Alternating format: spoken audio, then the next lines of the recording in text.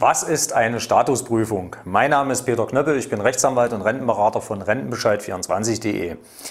Eine Statusprüfung ist ein gesetzliches Verfahren zur Feststellung, ob ein Bürger in Deutschland mit seiner Erwerbstätigkeit entweder in die Versicherungspflicht, in alle Systeme der Sozialversicherung hineinfällt oder aber er als Selbstständiger oder Freiberufler versicherungsfrei ist.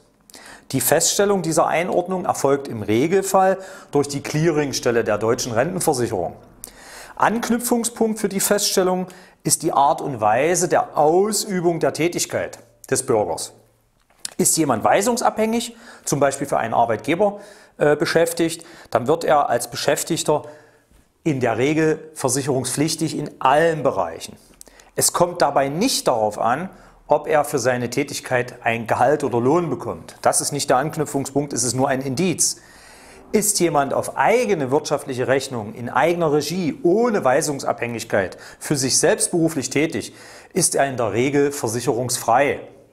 Es gibt Ausnahmen für versicherungspflichtige Selbstständige in der deutschen Rentenversicherung. Das wollen wir heute nicht besprechen.